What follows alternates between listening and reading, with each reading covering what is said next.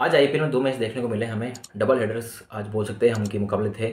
और पहला मुकाबला जिस पर हम बात करना चाहेंगे, वो दिल्ली वर्सेस चेन्नई है। तो चेन्नई ने मुकाबला हारा है।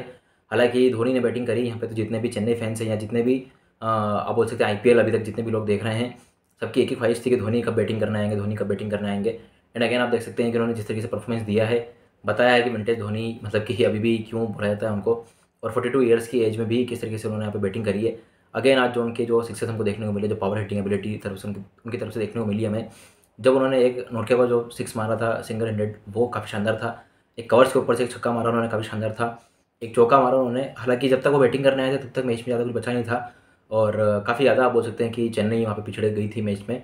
और अगर मैच की बात करें यहाँ पे तो हम्म, दिल्ली ने काफ़ी अच्छा खेला यहाँ पे मैच आप बोल सकते हैं। और बीस रनों से मुकाबला जीता है यहाँ पे। और जिस तरीके से आप बोल सकते हैं कि जो जब पृथ्वी शॉ ने और वर्नर ने यहाँ पे मतलब इनिंग की शुरुआत करी, काफ़ी अच्छे तरीके से उन्होंने खेला यहाँ पे। और पृथ्वी शॉ के लिए भी अच्छा है, कम से कम उन्होंने आज जो है अपने लिए रन बनाए यहाँ पे।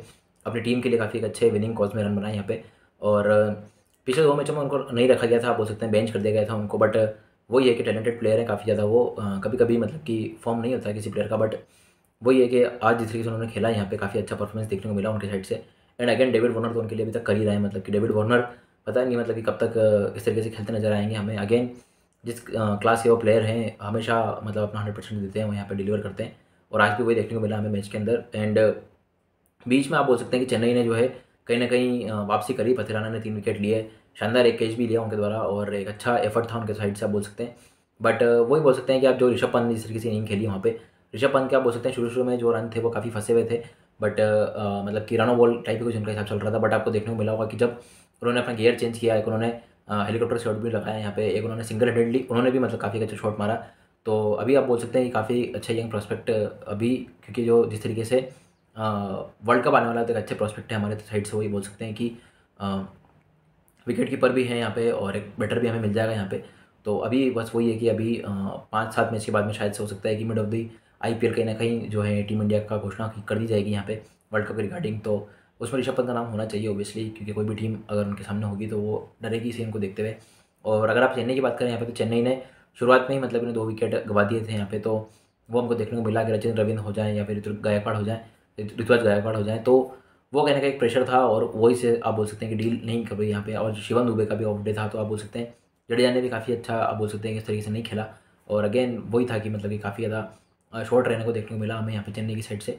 और बीस रन का कम रहेगा यहाँ पे और एंड में आकर के हालाँकि धोनी ने काफ़ी शॉट्स लगाए बट वो मतलब कि बस आप बोल सकते हैं कि एज अ क्रिकेट फ़ैन मतलब कि अच्छा थे वो शॉट देखने के लिए बट वही था कि मैच के लिहाज से वो मतलब कि चेन्नई को हेल्प नहीं कर सके। एंड अगेन आप बोलें तो जो दूसरा मैच जो खेला गया वो गुजरात वर्सेस हैदराबाद के बीच में खेला गया, पहला जो मुकाबला था, उसमें हमको देखने को मिला कि हैदराबाद ने जो है मतलब कि जो टोटल था, वो वन सिक्सटी रन के आसपास ही यहाँ पे लगाया था, काफ़ी शॉर्ट टोटल यहाँ पे देखने को मिला हमें। हेड भी मतलब क्या जल्दी आउट हो गए, उनकी टीम ने जिस तरीके से परफॉर्मेंस दिया है, पिछले मैच में जिस तरीके से उनका जो परफॉर्मेंस निकल के आया था, उस तरीके से देखने को नहीं मिला हमें। एंड वही होता गुजरात के आप होम ग्राउंड पर खेल रहे होते हैं तो आपको कहीं ना कहीं ऐसी सिचुएशन का जो है, आपको सामना करना पड़ता है। और आप बोल सकते हैं कि जो जिस तरीके से वहाँ की जो पिच जिस तरीके से बिहेव करती है, वो उनको देखने को मिला कि जो पहली टीम ने बैटिंग करी यहाँ पे। एंड अगेन ये सारी चीज़ें मतलब गुजरात का ग्राउंड और पहली टीम की बैटिंग वो सब और कम टोटल यहाँ पे, वो सब हमको जो उन्नीस नवंबर की याद दिया जाता है बार बार बार बार। तो आपको ओडियाई वर्ल्ड कप का फाइनल हमेशा याद आएगा उसको लेकर के।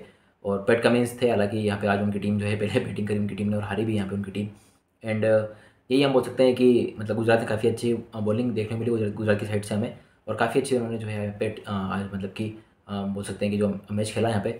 और अभिषेक शर्मा ने हालाँकि कुछ थोड़े बहुत एफर्ट लगाया उनकी साइड से, हैदराबाद की साइड से। अब्दुल समद ने भी नीचे आकर के कुछ रन बनाया बट इनफ नहीं थे वो रन उनके लिए। और आप बोल सकते हैं कि जो जिस तरीके से मतलब कि साहा ने और मतलब कि शुभन गिल ने जिस तरीके से ओपन करी यहाँ पे, उसके बाद में साई सुदर्शन को इम्पैक्ट प्लेयर से लाया गया, उन्होंने काफ़ी अच्छा खेला। उसके बाद में आप बोल सकते हैं कि जो डेविड मिलर है, उनकी काफ़ी अच्छी इनिंग गई।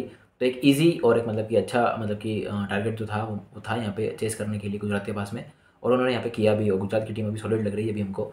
एक मैच हालाँकि वो हारे हैं चेन्नई से, चेन्नई के ग्राउंड पे हारे हैं हालाँकि वो। और अगेन आपको देखने को मिल रहा है कि अभी वापस से ये जो ट्रेंड अभी जो आईपीएल में है, लगातार पिछले कुछ मैचों से हमको देखने को मिला कि जो भी टीम होम पर खेल रही है, वो यहाँ पे जीत रही है कहीं ना कहीं। तो एक ही वाली चीज़ है, ये फैक्टर है।